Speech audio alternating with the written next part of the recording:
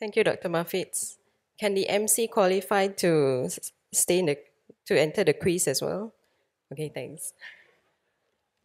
Okay, so uh, before we start off, uh, my words of uh, Benjamin Franklin tell me and I forget, teach me and I may remember, involve me and I will learn. So please make this an interactive session. There'll be a lot of question and answer session. So make this interactive and get the most out of it today. And there's also a book to be won. Okay, so uh, let's proceed on to the first symposium. I'd like to invite uh, the chairperson of the first symposium, Dr. Ling Kwong Eng, who's a senior consultant anesthetist from Ara Damansara Medical Center, Ramsay Sime Darby Hospital. He's also a former lecturer of University Malaya and uh, instrumental in establishing regional anesthesia in University Malaya, and also one of the pioneers of the special interest group of regional anesthesia. A warm welcome to a first chairperson who will chair the symposium on blocks for major joint surgeries. Let's put our hands together.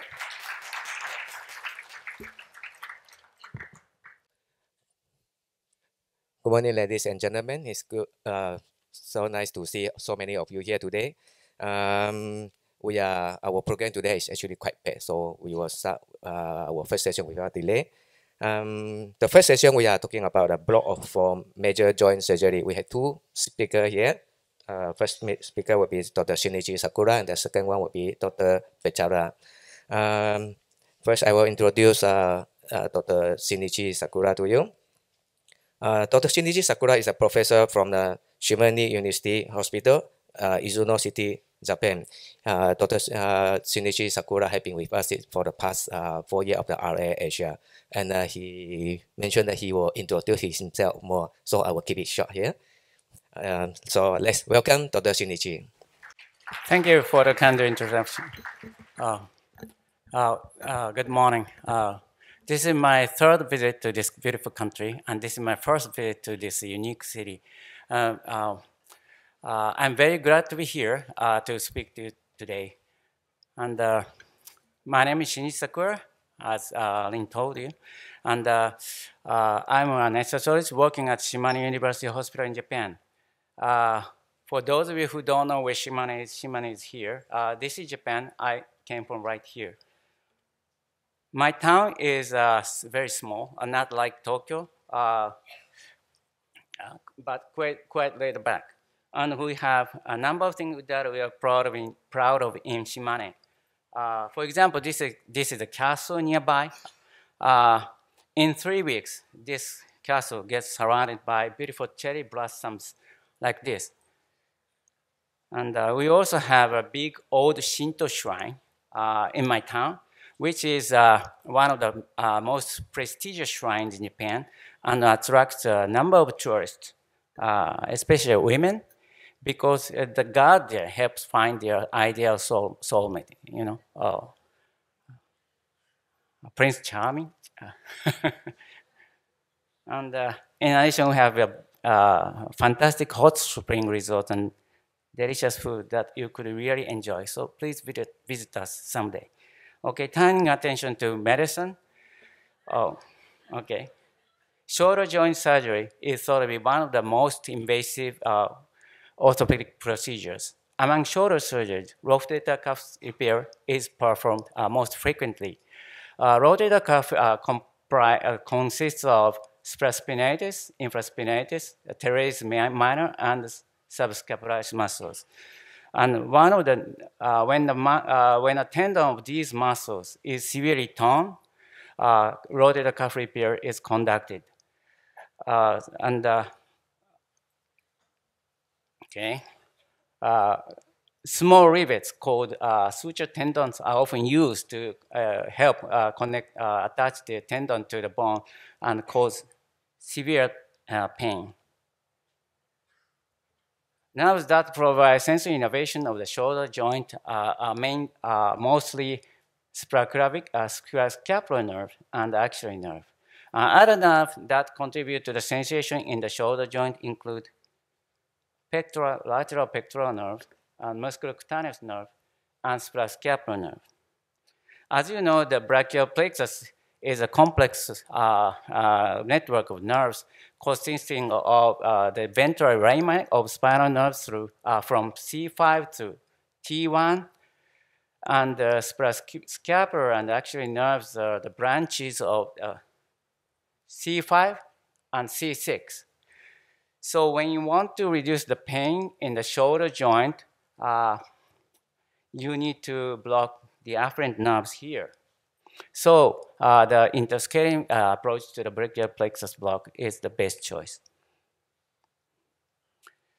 Actually, interscalene brachial plex plexus block has been used uh, for shoulder surgery for many years. Uh, uh, however, uh, there is a relatively relative paucity of high level of randomized control trials addressing the benefits of uh, shoulder, uh, benefits of inter, inter, uh, brachial plexus block uh, in shoulder joint. Uh, this is not a comparative study, uh, but can tell us how patients feel about the perioperative management with interscalene block. And procedures range, you know, widely range from major surgery like rotator cuff to minor ones. But, uh, you know, uh, patient, uh, uh over, actually over 99% of the patients uh, felt uh, satisfaction with the treatment of anesthesia with uh, interscalene plexus block. So that is good. Then why do so many patients feel satisfied? This systematic review uh, searched for studies uh, between two, uh, 1950 and 2012 and uh, evaluate the effects of inters brachial blocks in patients undergoing shoulder surgery. And they found that the use of an interscalene uh, brachial plexus block resulted in significant decreases in post-operative pain scores and in the amount of supplemental analgesics and being cost effective, effectiveness, effective. So uh, the patient satisfaction may have resulted from uh, reduction in pain, uh, post-operative pain. Early mobilization is very important in uh, successful rehabilitation. Uh, post-operative pain uh, prevents effective physiotherapy. So decreasing post-operative operative pain with interscalene block theoretically uh, improves early rehabilitation. Uh, these uh, authors wanted to uh, prove this by comparing continuous uh, interstitial or blo blocks with uh, intravenous opioid injections. and they used a, a constant score to assess uh, functional disorders of the shoulder joint, uh, including pain, sleep disturbances, and quality of the patient daily life activity. And they found that uh, the constant score decreased post-operatively uh, in both groups, but the decrease was uh, significantly less extensive in patients receiving uh, this block. However, when you look at, the, look at each category of the scores here, strength and range of motion were similar between the two analgesics, you know, between uh, intravenous opioids and the interstitial, uh, interscalene blocks. So uh, that means uh, significant difference in uh, constant score only resulted from lower degrees of pain in the block group, and superior analgesia uh, did not necessarily lead to uh, improvement of early rehabilitation in patients undergoing open shoulder surgery. So this, this is a little bit disappointing, but I believe that some of the blocks they did were uh, not working uh, properly because the block uh, technique they used in this, for this study was not ultrasound guided Still, we can see uh, patients receiving blocks reporting lower degrees of pain intensity at rest and as well as during exercise for the first three postoperative days. This post-operative study uh, uh, was conducted to obtain data uh, for, from a large national uh, co cohort between 2007 and 2011. And the authors wanted to uh, see uh, how, how frequently perioperative peripheral nerve blocks were added to general anesthesia in patients undergoing total shoulder uh, arthroplasty. And they also wanted to see if there were any differences in the risk for uh, major perioperative complications and uh, mortality uh, between patients who received the block and uh, those who did not. And they found that uh, they found that they found similar uh, you, know, you know, out of, out of more than over 17,000 patients, 20%, only 20% received the peripheral non-blocks. This, this, is not, uh, this is not good. But still, uh, they found that, uh, and uh, they also found that uh, there was no difference in the, in the, in the, in the mortality and the uh, uh, instance of major mortality, morbidity, uh, major complication like this, regardless of the block. so again, there must be some technical problems in the study too by using traditional techniques. So we need to improve the uh, quality of the block by using ultrasound. So first, let me start with, let me talk about the single shot first. Interscalene block. Uh, the cervical nerve roots are sandwiched between the anterior and inferior scalene muscles, which correspond to the lateral edge of the sternocleidomastoid muscles. The large vessels are usually outside the group and can serve as a landmark uh, for this block. Uh, this approach also blocks the supraclavicular nerve and the phrenic nerve. And, uh, and most of the time. The reason why you can block the supraclavicular nerve is that uh, this nerve uh, runs behind and uh, comes out uh, from the edge of the sternocleidomastoid muscle. So, but I think this is actually good. With this block, you could actually provide anesthesia on the shoulder, on the skin over the shoulder as well. So that this is good uh, position the patient, uh, position the transducer this way, and you can observe an image like this. Uh, you can identify the sternocleidomastoid muscle superficially, and deep to it, uh, the anterior and the middle scalene muscle. And you can uh, see uh, three roots here that, that are dark or hypoechoic in the interscalene groove and uh, you can also identify carotid artery, which is not seen here, and the interjugular as well. So then you need to in, in, insert the needle, but where, where should you put the needle? So this is the ideal uh, spread uh, of local anesthetic after injection. So this is a paper showing the uh, cervical nerve roots and the proper location uh, for the needle tip. Uh, the labeling, labelings in this picture show that these superficial two are C5 nerve roots, and this one is C6, and this one is C7. However, uh, the labeling uh, turned out to be wrong later. Actually, this, this is C5, and these two are C6, and this is C7. Now, recently, Franco clearly showed in his uh, study results that the C5 uh, root is uh, significantly smaller than either C6 or C7. And also, C6 uh, uh, root uh, split uh, quite early, like this. So this is C5, and this C6 is larger and split earlier. So are you going to advance the needle space here or space here after the bifurcation.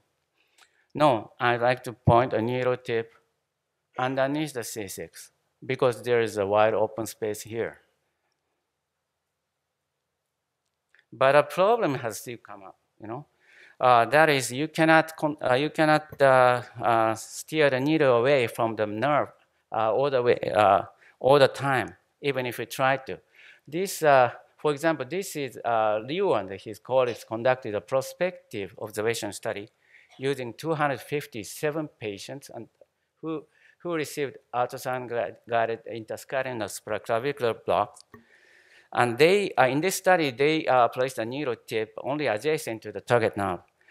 And after checking the video later, uh, they surprised to see 17% uh, of the patient had received uh, intraneurally. So uh, intraneural injection occurs before night. Fortunately, no one developed uh, clinical uh, nerve injury afterward. So it makes sense that some anesthesiologists have thought of a way to avoid uh, unintentional intraneural injection by taking a more conservative approach, which is avoiding needle nerve contact. Uh, when Spence and colleagues conducted the uh, uh, in the scaling block, they advanced the needle not only not not into the brachial cyst, but to uh, you know outside of and injected local anesthetic uh, in a space between the middle scalene muscle and the brachial plexus sheath.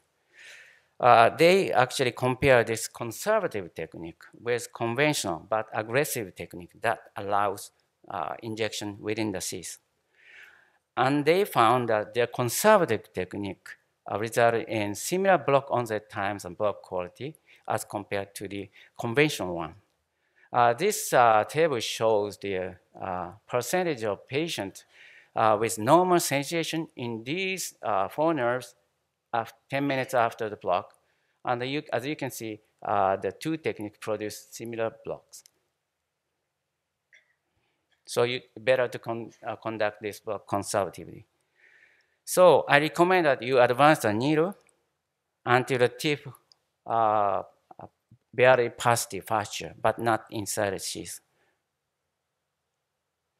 Another problem is injecting a, a certain amount of local anesthetic into this into the groove here, this way. You can also you also block the nerve, uh, phrenic nerve running here, like this. So Philippe Gautier uh, injected small amount of uh, 10 ml of radio contrast solution in the interscalene uh, spaces uh, and saw this medium spilled outside the groove and surface of the interscalene, uh, uh, anterior interscalene muscle, uh, anterior scalene muscle, uh, where the phrenic nerve is. Researchers in Lausanne conducted this randomized study to see if they can reduce the uh, uh, reduce the uh, incidence of hemidiaphragmatic paralysis by injecting anesthetic lateral to the brachial plexus sheath compared with the conventional intrafascial fascial injection. And they they used uh, 20 ml of half percent bupivacaine and found that their intravascular injection technique resulted in uh, significantly smaller reduction in the ventilatory function, uh, including these, uh, compared with the conventional technique. Uh, although, however, although oh, the block uh, fascial injection, uh, fast, fascial injection technique resulting in significantly slower onset, uh, both sensory and motor block. Both techniques, both injections produce similar analgesic time course. Other nerves can be damaged too. Okay, this is uh, in ultrasound image showing the uh, dorsal scapular nerves and the long thoracic nerves. Dorsal scapular nerve uh, comes uh, from C5 and long thoracic nerve from C5, C6, and C7. So uh, in fact, these nerves can be seen quite frequently uh, when you sit. And uh, as you can see, when you uh, perform lateral approach, you need to be careful not to injure these nerves. Serious adverse events include epidural block, total spinal, and permanent com uh, neurological complications. According to these case reports, horizontal uh, intercord injection, horizontal needle insertion technique, and uh, performing the block during general anesthesia were responsible for this, uh, you know, for the serious complications. So I would like to advise against conducting this block in an anesthetized uh, patient. So there is a question in the first place whether this uh, you know single block, uh, single uh, short interscalene block uh, benefits patients. Uh, so uh, the, the, authors of this paper analyzed the result of previous studies comparing a single short interscalene block with no block, usually general anesthesia alone. this and no, this shows this shows uh, the uh, difference in pain intensity between the two blocks uh, for 48 hours after surgery. And below zero means uh, the a single injection, single shot uh, ISB is better. And the above zero means worse. And they found, uh, they found that for the first eight hours, pain intensity was lower in patients who received the block. But after that, around 20 hours after surgery, uh, uh, probably because the anesthetic effect disappeared, uh, they had stronger pain than those who did not block, who did not receive block and uh, experiencing rebound pain. So we need to do continuous block. However, although the continuous block uh, can benefit patients uh, it may also cause serious consequences. This report described the most uh, shocking event that has happened in patients undergoing, uh, receiving a continuous uh, uh, interscalene block. Uh, the patient was a healthy 20-year-old male who underwent uh, rotator cuff repair with general anesthesia. An interscalene block was provided before anesthesia using a single shot of bupivacaine and then a catheter was introduced uh, uh, through the needle and uh, advanced seven centimeters beyond the needle tip. At night of surgery, uh, anesthesia resident visited the patient in the room and found that the patient was fully awake, uh, complaining uh, mild pain. So that the patient, so pa the resident injected bupivacaine 10 ml through the catheter and left the room, left him uh, after a short stay. But in the next morning, the patient was found dead. Uh, so, and the post-mortem scan, CT scan revealed that the catheter tip was inside the canal, suggesting that the uh, patient had developed uh, total spinal anesthesia. So you can tell, you can easily tell the, uh, the problem, possible uh, problem in this case. Uh, those are the block was performed with reading approach so that, uh, uh, which means the needle was inserted immediately. And the catheter was in that advanced seven centimeters beyond the needle tip. And the first bolus was injected through the needle, but not through the catheter. And uh, first, uh, you know, oh, bolus injection through the catheter, uh, through the catheter was made without preceding infusion. So uh, this uh, case report tells us that we need, we must observe a guideline like this when provide, uh, when we provide, when you provide a continuous uh, interscalene block. Uh, you should uh, direct the needle laterally, needle laterally, and do not advance the needle, advance the catheter three centimeters, more than three centimeters beyond the tip, and the, the first bolus injection should be made through should be made injected uh, through the catheter, not through the needle, and you should uh, stay at the bedside for a long time after making a bolus. Uh, regarding the needle insertion, there are two techniques actually, uh, out of plane and in plane techniques. So with out of plane technique, please do not advance the needle too deeply. I think uh, 1.5 center would be uh, enough uh, it is be better, it is better to place the needle tip on the lateral or posterior side of the groove because most of the nerve, uh, sensory nerve fibers are on this side of the root. If possible, you should observe the uh, catheter going like this under the ultrasound. And it is strongly recommended that you use a dowel needle. Although some people feel against it, I, we actually conduct posterior approach a lot because with this approach, with this approach, the catheter can go through uh, thick muscles and can be secured uh, quite easily. So the uh, needle is uh, go, go, goes like this. Make sure that this, uh, the tip goes to the right place. Uh, here, the tip is positioned between C5 and C6, uh, which is actually okay. But I suggest you uh, aim the needle here, where you have much wider open space uh, which means underneath the C, C6 root. Okay. You need to push in the catheter farther while putting out the putting the needle out. Uh, and because, uh, you know, the tip is going to draw back a little uh, post-operatively, operatively, even if you secure the catheter at the insertion site. Because the neck is going to swell up after surgery because of the inflammation, something like that.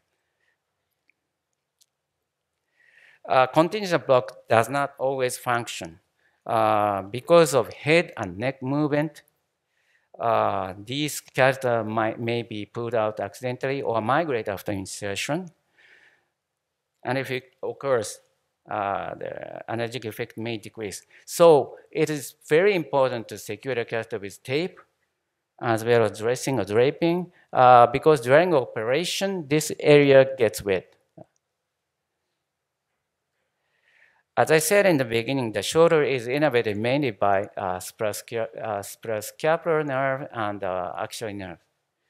So uh, blocking these terminal uh, branches uh, should uh, provide some analgesia in the shoulder. For axillary nerve block, you place the transducer on the posterior aspect of the upper, proximal upper arm, like this, and uh, you can see the humeral, uh, posterior circumflex uh, humeral artery uh, between deltoid and teres minor and triceps muscle. Uh, the scapular nerve is right next to the artery. Uh, no, no, axillary artery. Axillary nerve is right next to the artery. Uh, to, for scapular nerve block, you need to, you should place the transducer on top of the back like this to observe the image like this. So you can see trapezius and spinatus muscles and uh, suprascapular uh, notch. And in the notch, you should expect to observe the uh, suprascapular artery, uh, and, and uh, the nerve is right next to the artery. Uh, however, I have to say that the combination of those two blocks uh, is not as effective as interscalene block. Uh, this uh, paper shows the result of a study comparing the uh, combined uh, uh, you know, combine, compare the analgesic efficacy of the combined block with interscalene block after arthroscopic uh, surgery, including rotator cuff repair. And they found that they used actually, what could be, oh, 15 ml of ropivacaine and 20 ml of inter, uh, the same solution and uh, for the interscalene block.